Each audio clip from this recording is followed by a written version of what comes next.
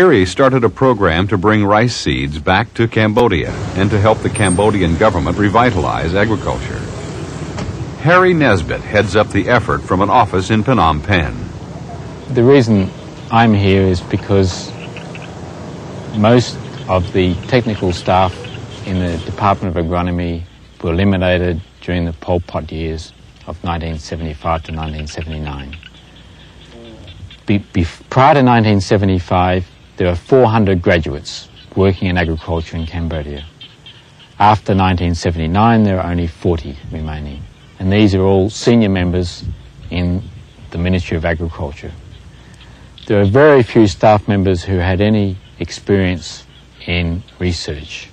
And the project was commenced to start a research program for investigating ways of increasing rice production and I was one of the lucky people to be selected to come here.